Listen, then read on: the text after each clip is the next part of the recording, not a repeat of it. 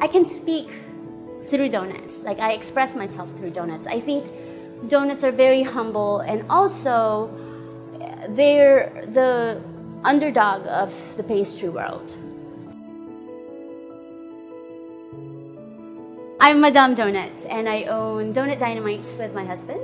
We opened our store about seven months ago in the town of Wailuku. Our workday usually starts somewhere around anywhere between 10 p.m. to midnight, depending on the day of the week. On the weekends, we obviously start as early as 10. And then uh, my husband usually rolls the dough. I would have made the, the brioche dough at least a day in advance. So that the dough has been rested by by the time my husband rolls the dough around 10 or 11 p.m. After he rolls them, the doughs have to rest for a few minutes, anywhere between 45 minutes to an hour before we can cut them. My very first job was actually uh, at Dunkin' Donuts when I was 15. Uh, but at the time, I did not make the donuts. I, I worked the front of the house.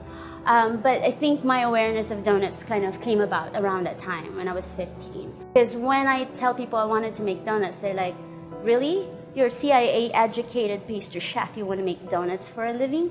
And I say, yeah.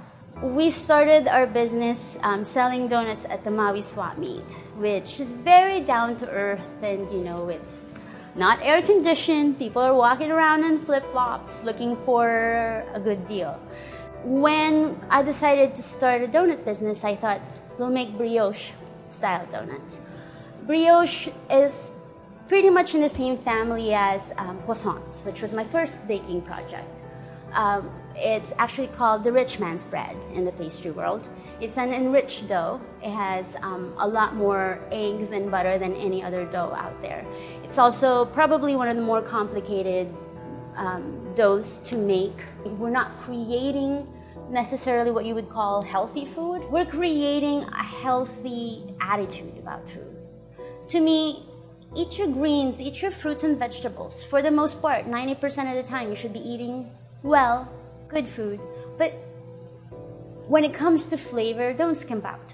Because when you're happy about what you're eating, I think that's a healthy feeling, a healthy attitude. And we're going to continue to do what we do until, until those faces disappear, but they keep coming.